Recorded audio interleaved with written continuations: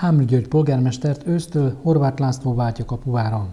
A 2024-es önkormányzati választáson az új polgármesterek közel 3000-en szavaztak a városban.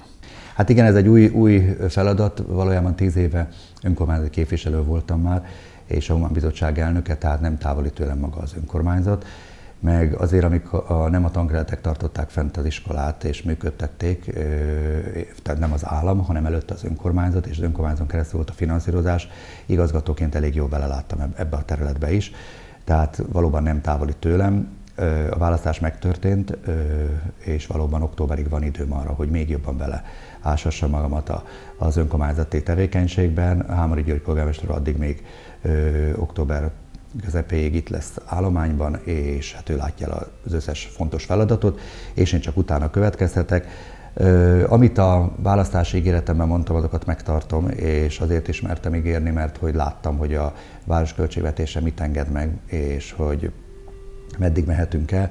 Ezek mind szükséges beruházások, és természetesen, ahogy bekerülök a, a megfelelő polgármesteri székbe, ezeket meg is fogom valósítani és tenni. Én nagyon szeretném megköszönni azoknak az embereknek, akik támogattak ebben engem, mint, mint az utcán beszélgetés és bármilyen formában, mint pedig a szavazatukkal, és bízom abban, hogy akik úgy érezték, hogy nem én lennék a megfelelő ember, azokat meg tudom győzni majd arról, hogy munkámmal és az értékrendemnek az érvényesítésével, hogy valóban én dolgozni szeretek, én feladatokat szeretek megoldani, én nem szeretek torzsalkodni, veszekedni, vitatkozni, sehova nem vezet.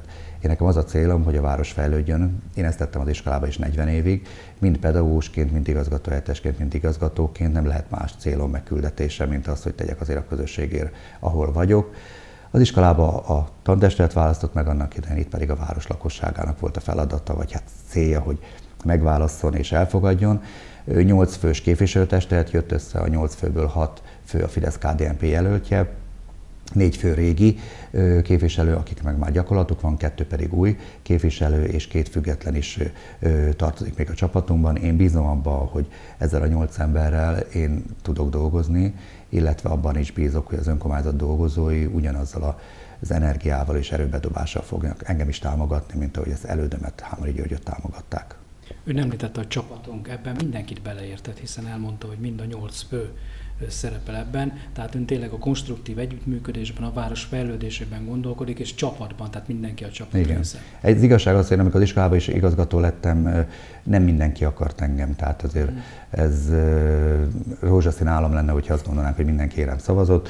Nem mindenki szavazott rám, de úgy érzem, hogy egy fél évvel, egy év elég volt ahhoz, hogy, hogy mindenki megérezze, hogy én, én nem az iskola ellen szeretnék dolgozni, az iskoláért szeretnék dolgozni, a gyerekekért, a szülőkért, a pedagógusokért, azért, hogy jobb munka folyjon, azért, hogy még jobb legyen, és minden lehetőséget kihasználjunk, és a város életében is ezt szeretném. És én bízok abba, hogy Kapuvár fejlődése továbbra is fent tud maradni, és ebben a nehéz gazdasági helyzetben is tudjuk azt biztosítani, ami szükséges, a költségvetés stabil, a legfontosabb az intézmények fenntartása és működtetés, és ezt követően az összes olyan városi feladat, ami, ami előttünk áll.